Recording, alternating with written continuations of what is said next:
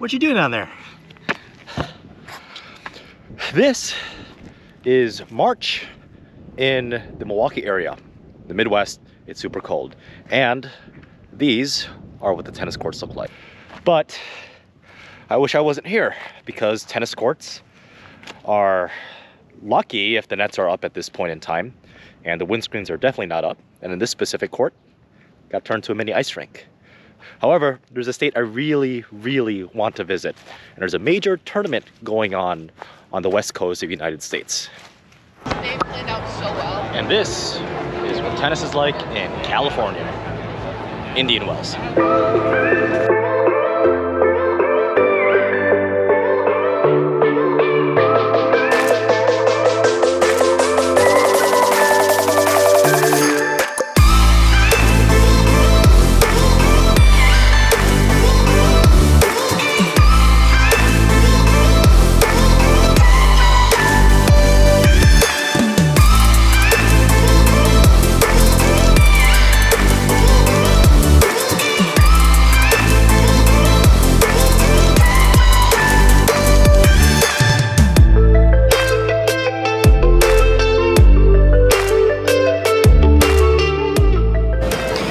So just entered Indian Wells. Um, it's actually not that big of a line. There was an issue when it came to getting the tickets because the app was being overloaded because everyone was using it.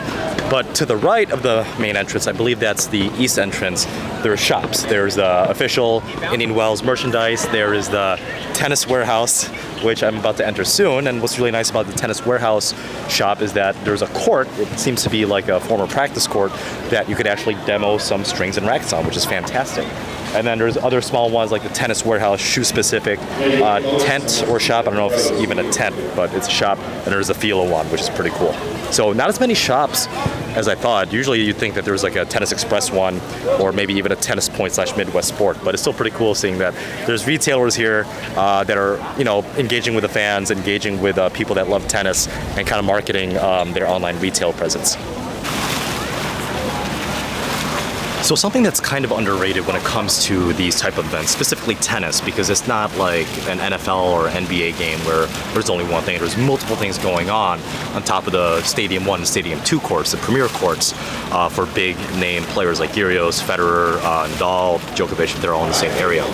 But um, these rest areas are pretty cool because it gets really hot no matter where you guys are watching specifically tennis, where people are just resting in the shade, having a few drinks, eating, and then you know just planning out what the next step is because even though it's a grounds pass, there's a lot of stuff to do, especially not only if you're just a tennis spectator, but if you're an amateur tennis player yourself. There's a lot of stuff going on.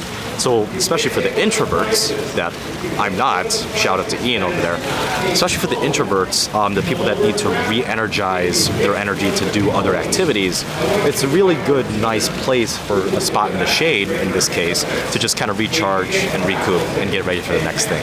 But I think I am ready for either a beer or the Tennis Warehouse demo. What do you guys think?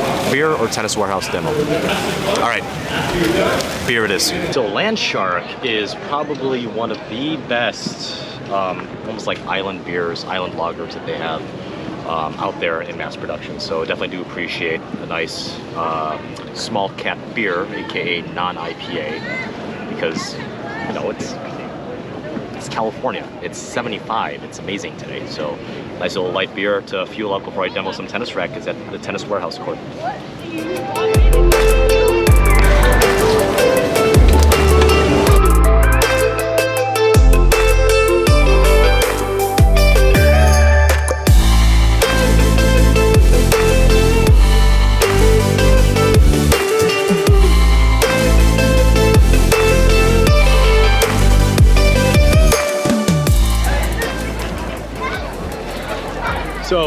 Was actually really fun. Um, it's really nice that Tennis Warehouse um, places their tent right next to a practice court, uh, what it seems like a practice court, for regular consumers and prospects to just be able to demo rackets and strings. So it's really nice of them.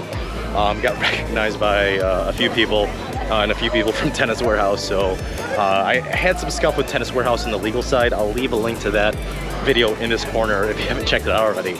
Uh, but it's very nice of them, and you know they're very friendly. They're just normal human beings like us. I mean, we have some disagreements about some business practices, and that's fine. But overall, it was a really, really cool time. So if you guys are going to like any type of like major tennis tournament, don't just visit tennis warehouse, just visit the retailers because it's pretty cool.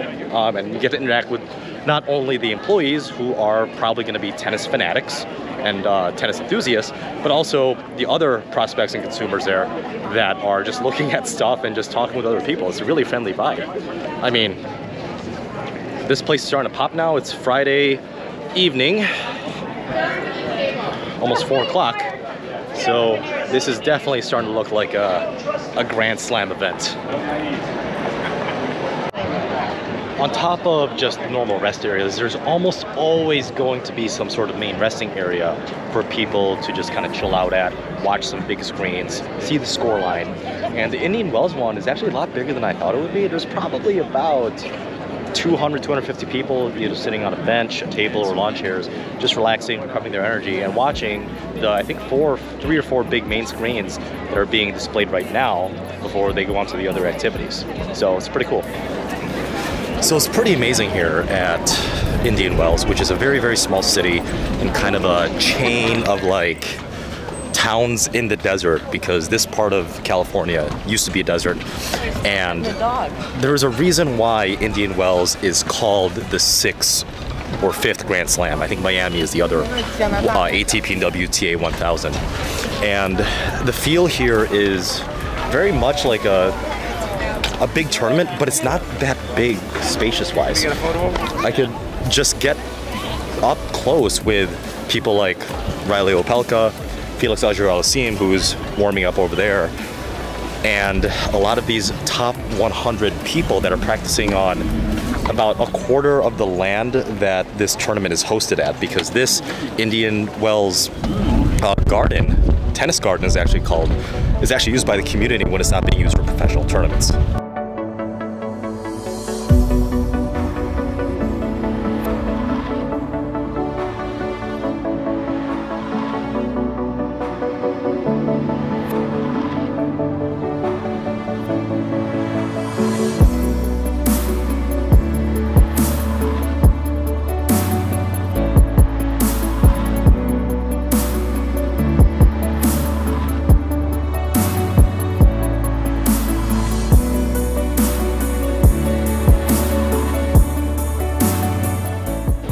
And it's kind of amazing because a ground pass for me only costs $30. I think that's the general public um, admission for just walking the grounds. Stadium 1 and 2 are the only ones that require um, passes or separate tickets to get in. I think Stadium 2 you could actually go in the upper tier seats uh, for free if you have just have the general grounds pass.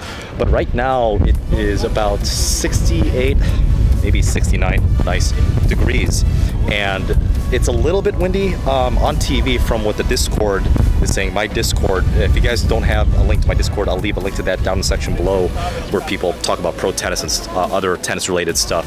They're saying that on TV it looks super bad on the stadium courts um, where Osaka is playing, I believe, right now. She might be up a set, but yeah, there is a breeze, there's a little bit of a gust, but to be honest, it's actually not that bad, at least on the practice courts. So I'm just gonna try and get a beer now because uh, I'm thirsty, and then I just want to check out the other uh, stores at Indian Wells.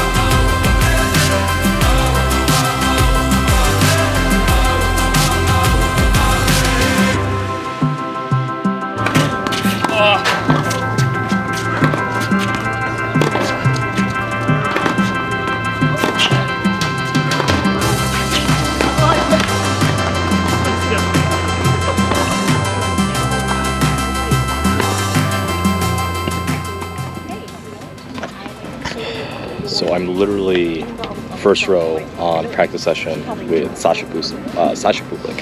Um, I think he's uh, Ka- Kazakhstan, um, Kazakhstan player, but he's a really clean ball. He's six foot six, and I don't know who this gentleman he's hitting against, but he's a pretty damn good player as well, average best.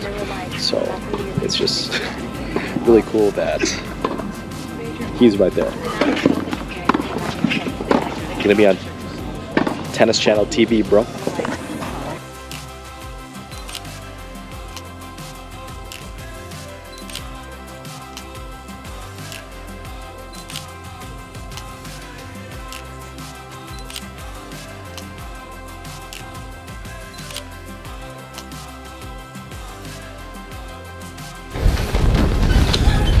And in California, keep in mind that there is no actual like there's no actual humidity. Um, it gets a little bit windy, um, a little bit often, kind of like it's a little bit breezy right now. But it's pretty nice because even though it might be like 85 and you're working your butt off and playing a lot of tennis, you're not going to be sweating nearly as much. You're not going to be as tired as quickly as you would be as you would maybe in the East Coast or the Midwest of the United States where humidity is kind of a thing during the summer. So it's it was a little bit hot, almost 75, 80 earlier in the day, but now it's obviously cooling down because it's about five o'clock right now. So this is perfect tennis weather, but you know, kind of what the locals do. They always wear long sleeves to protect themselves from the sun and sunglasses, which I need to buy. Just like any major tournament in tennis, golf, NBA, any type of sport. There's a lot of shops here as well. And one thing that is super, super special to me about Indian Wells from what I've seen even just so far of being here for only three hours is the backdrop. Now keep in mind, we are in a desert and it's typically dry, typically fairly hot, but that's possible because the mountains are basically blocking most clouds to just dump the moisture onto the top of the clouds and then have the rest of that storm path, that flow of weather, just be absolutely dry, and that's why there's a desert here. So there's basically two types of mountain ranges. There's ones that are lush and foresty, and there actually is some white snow you'll see at the top of the mountains, and I believe that is the West Mountain. And then there's a second type of mountains, which is the dry, rocky, you know, sand-like mountains. It is a beautiful, beautiful backdrop on the practice courts and the arena courts. If you guys have seen on TV or on YouTube, the other tennis YouTube content creators, it's just an amazing sight of just tennis court, just nothing but mountains and desert in the background. I actually haven't eaten all day. Didn't even eat breakfast, so I'm gonna eat sushi.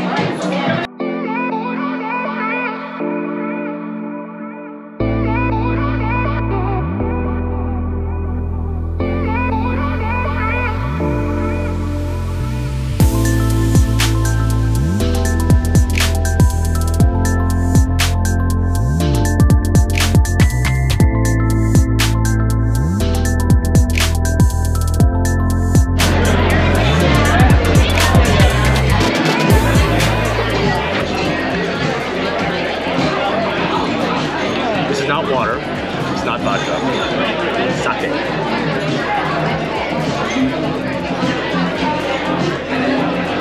Really good sake.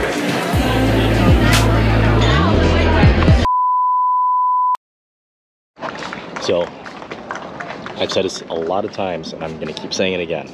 I cannot emphasize that if you're a tennis fan, whether you're a player or just appreciate the sport, go to the practice courts because literally right behind me is, I think he's like number 15 in the world, definitely top 20 or 30.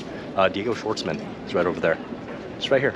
Small little crowd gathered around him, watching him play. And Diego Schwartzman is playing with uh, uh, Baez. I believe he's also from Argentina. So nice little setup that they have over here. Goes to say without actually saying it, but I'm gonna say it anyway. It's getting a little chilly now in the desert, and sun is setting. And you know what I do when the sun sets? I drink and eat. I gotta find some sustenance and nutrients. A little bit of a pro tip. If you guys are in Indian Wells on Stadium 2, there are two restaurants upstairs. Um, I believe it's the third or second tier. It's called Nobu, which is a Japanese restaurant, and then there's Fresh Agave, which is what I'm eyeing up right now.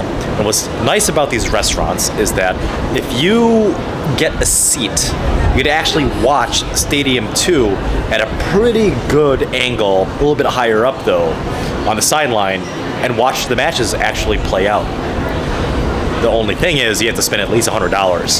But here's the view.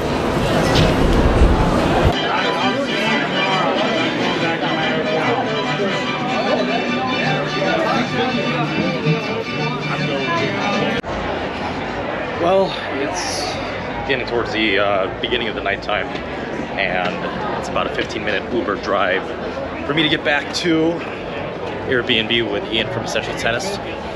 But overall, like it's getting a little bit chillier.